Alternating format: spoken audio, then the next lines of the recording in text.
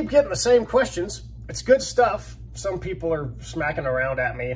Other people are literally asking questions and want to know the answer.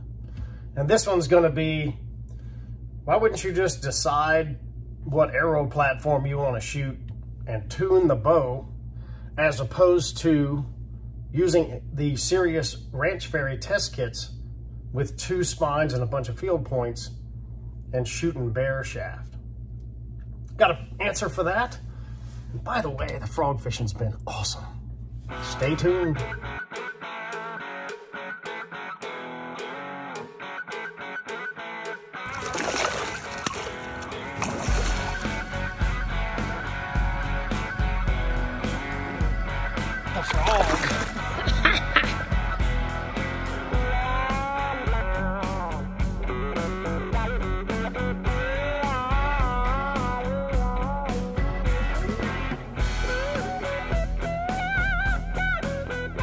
Okay, I get this on both sides of the coin.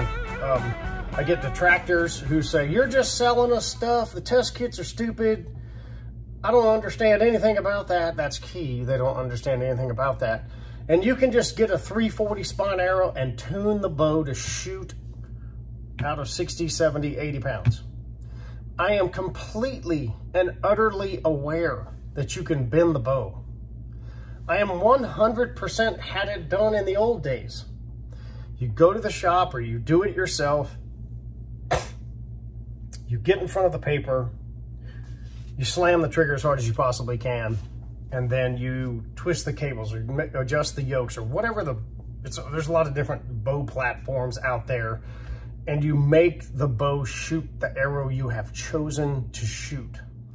Generally, that decision is made, you've decided that velocity is the key, and you want to go a certain speed, that's probably 90% of people. So they have decided that using some kind of calculator tool, and by the way, the calculator tools are a bunch of BS too, because I promise you they haven't shot every arrow platform on the earth through a LabRadar to find out if the velocities are actually accurate. So it's a guesstimate estimate.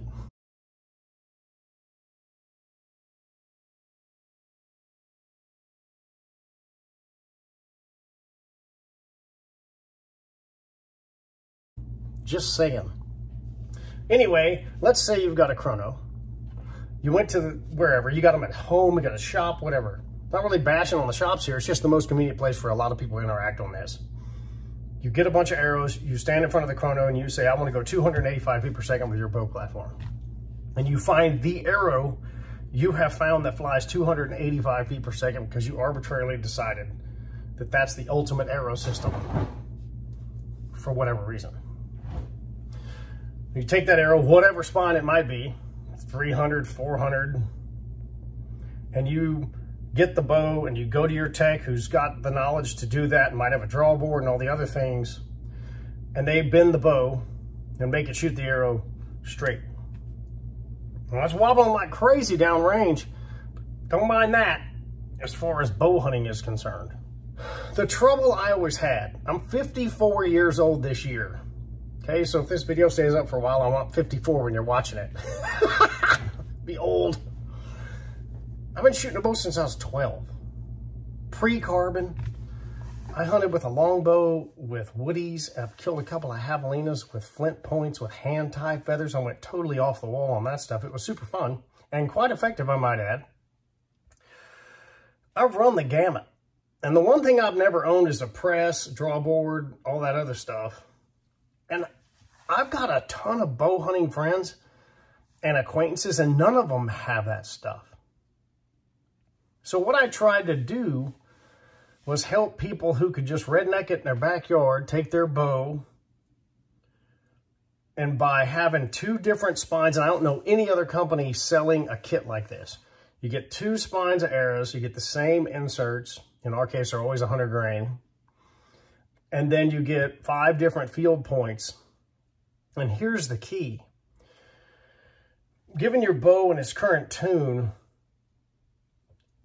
every point you add to the shaft on 300 spines, so 100, 125, 150, 175, and 200 grain points come with the kits. It bends the arrow different. You're kind of doing the same thing backwards as bending the bow. The only thing we've achieved is you're getting a higher forward to center arrow. You're getting more mass because it's a bow hunting arrow. So we're not as concerned about deciding how fast it should go or whatever arbitrary means other bow hunters, probably 90% of people, just decide that the arrow is going to penetrate. And what we're trying to find is a higher mass, higher forward to center bow hunting arrow and which ones will fly. What's interesting about the test kits, and I get this all the time, is people will shoot three or four different combinations and they will fly. If you take your bow and shoot a 340 at 28 and a half and 70 pounds and you tune that bow to shoot that arrow, un it's unlikely it will shoot other arrows well because it's tuned to the way that particular one shaft bends. So this is where we kind of have common ground, although most people won't see it that way. By changing the way the arrow bends. So when you launch, let's get an arrow. Eh, here's one right here. When you launch your arrow, and yeah, this isn't as good. Hang on, I'm gonna get Big Jake. Jake, Jake from the Hunting Public. He's the one who, we named it after him.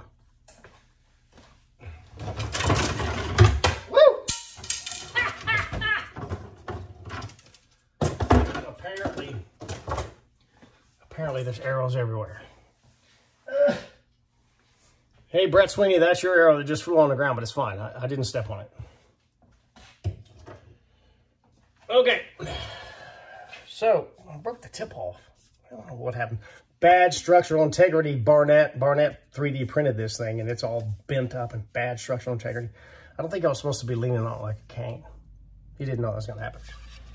All right, so I'm going to pull that off just to make it more clear. There would be a point on here. Get a grip. So you'd have an insert, right? You'd have a half jacket on there. This is an Apollo right here, with the old Ranch Fairy Fletch. You launch your bow and you have a 100 grain point and it only bends that much when it takes off or it bends up or whatever. You put 125, it bends more. You put 150, it bends more. 175, it bends more. You think bending's a bad thing bending is inevitable. If you shoot a really light spined arrow out of a high poundage bow to go really fast, it is bending like a banana because it is such a soft spine and it's going downrange wobbling like crazy. The bending is the key. It's almost kind of like a harmonics thing, like a, an out of tune guitar string. It's really, that's a really pretty good way to look at your arrows wobbling going down range. And you're trying to find the right bending rate, often multiple bending rates, of the different spine arrows and different field point combinations. What you basically are shooting when you shoot a test kit is 10 different arrows. They're the same length, two different spines, and five field points. So what I tried to do was help because when I started trying to figure out how to bare shaft my bow, this is six or eight years ago. There wasn't a lot of information on this. I had a wad of arrows. A few of them. I got every brand and stripe on the earth. Big Mike Tanaka was helping me figure this stuff out. And I'm not very smart, but I learn fast.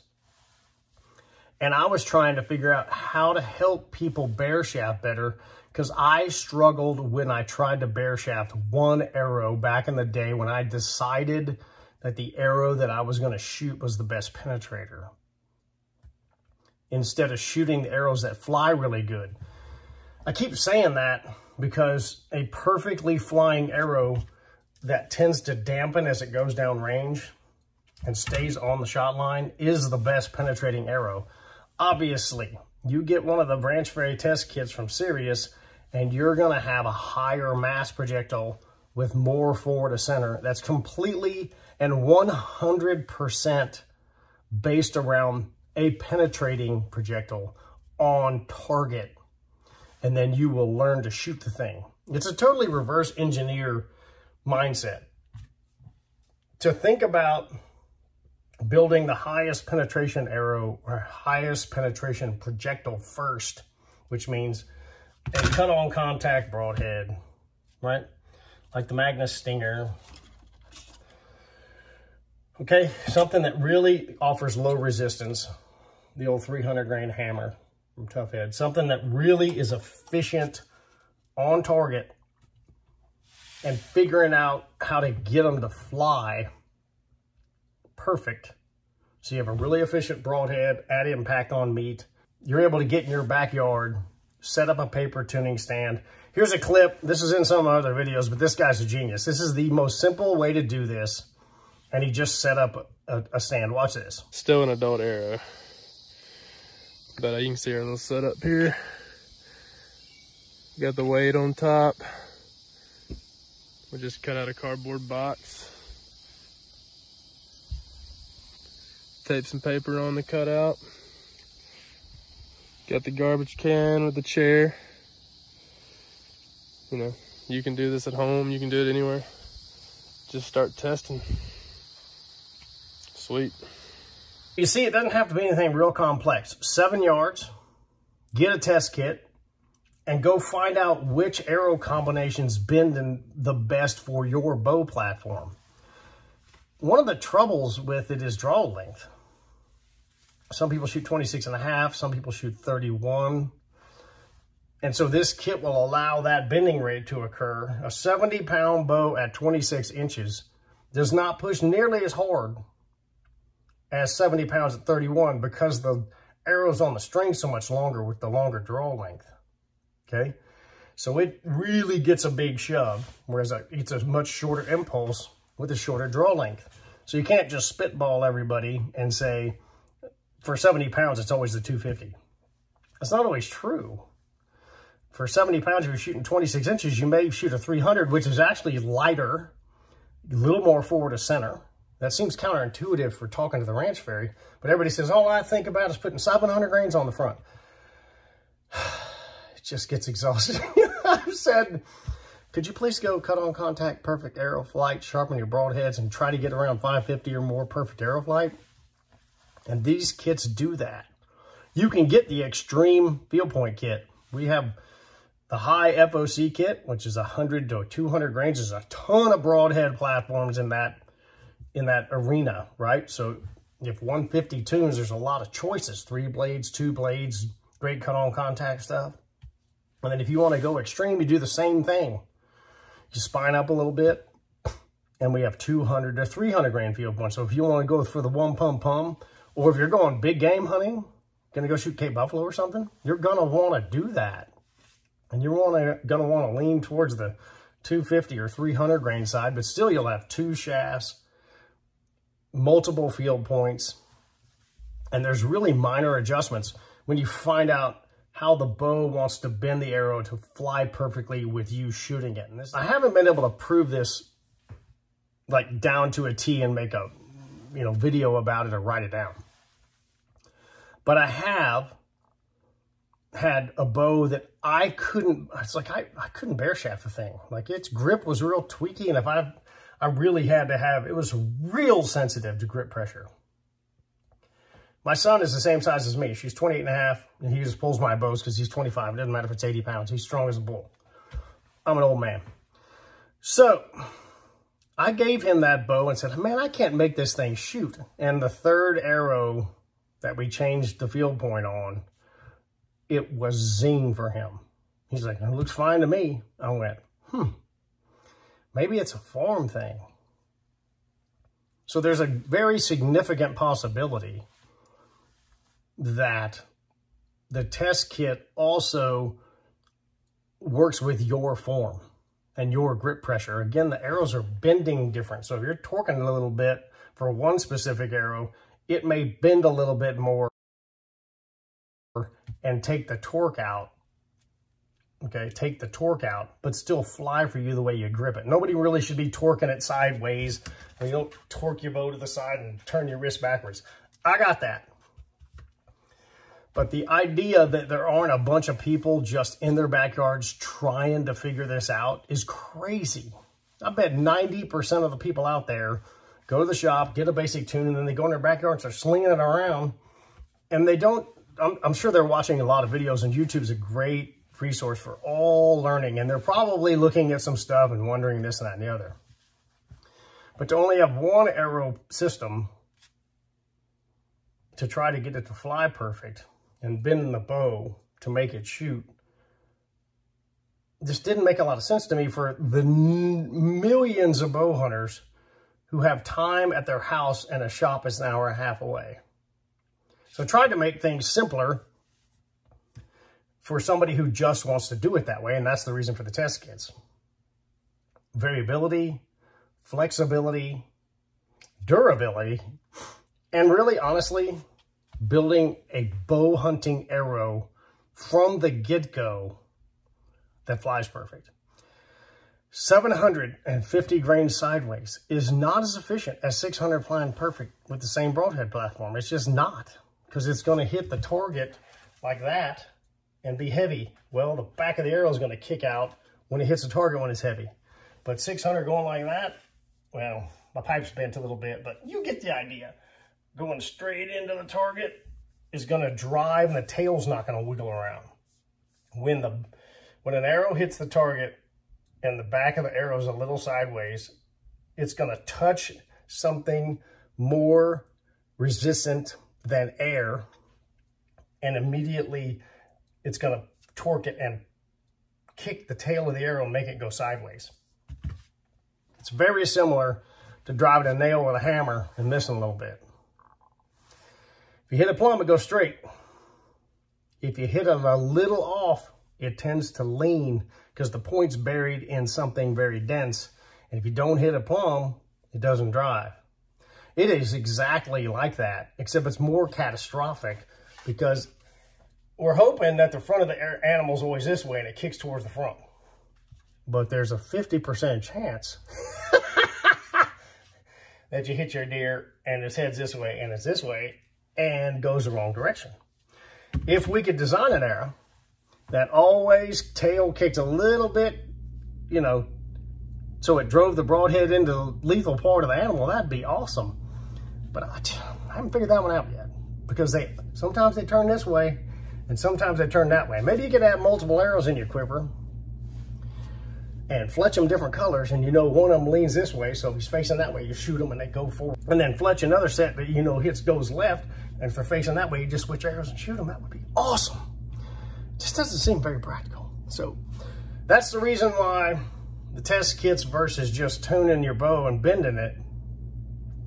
Simplicity, backyard capability, and we are building a bow hunting platform when you build the test kit. So if you want to get a test kit, just type in Ranch Fairy Store in the Googler and you'll end up on my on my page at Sirius. If you have some questions about which test kit to get, hit me at troy at ranchfairy.com or find me on Instagram, ranchfairy, and just hit me on the messages. Give me your draw length, draw weight, etc., and I'll recommend a test kit for you. And then behind that, uh, these are bloody, but you know, whatever. Where are you? Oh, yeah, well, right here. Yeah. This is what the fletchings are gonna look like, but they're gonna be clean. this is a test arrow, but it's got the ranch fairy wrap on it. We got ranch fairy on the fletch, uh, tore the ranch fairy fletch off. Oh, no, oh, it's gone. That's sad. I was uh, testing at the, at the test lab too, and these are the arrows that went through the testing, and these are all of them. These are just the ones I can refletch. We broke a few, you know, hard on stuff. There's a cleaner one. Got the Ranch Fairy wrap, Ranch Fairy fletch, blah, blah, blah. You see, you get the drift. So what you do is, when you find what flies, let's say it's a 250 or 150 gram point, there's a lot of 150 gram broadheads, that's a good deal. You can go right behind that, go to the Ranch Fairy store and order Ranch Fairy arrows, exact match. This is highly recommended. Um, if you do the process in the in the description, I'll have a link to the bare shaft tuning process that I recommend. Step by step, you can follow it. If you're gonna shoot another brand of arrow, don't use my test kit. Get whatever spines we recommend from them. Because I've been surprised at the inconsistency between brands of a 250 spine arrow. And it's just the way that the uh, carbon lays down. It's in me trying to sell you anything. I just told you not to buy our stuff if you're gonna shoot something else. Go get theirs. Stay with the shaft, okay?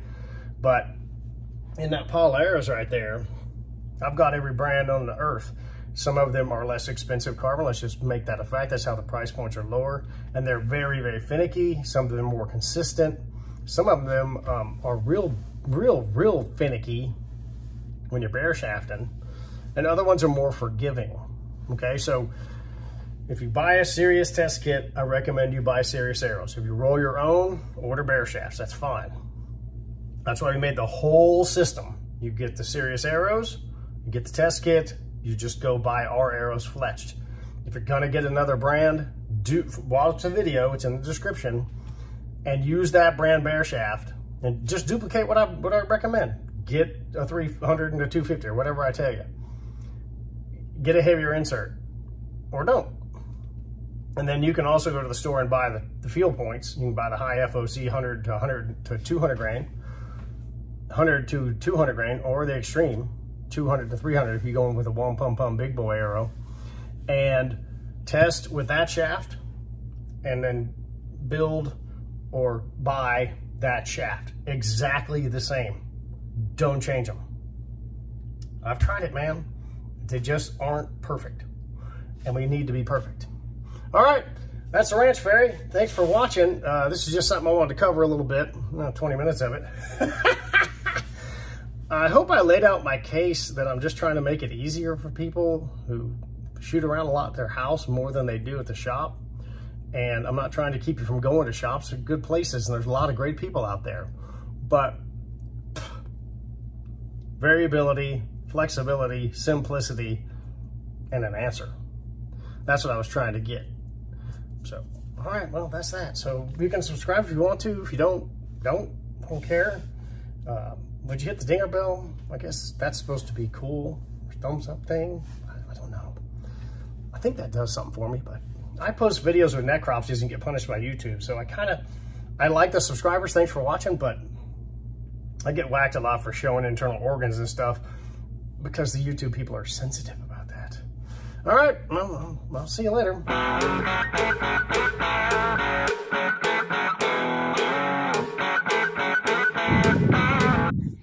Chris was throwing the bow just to make sure it was working, and he shot the earth. Good job, Chris.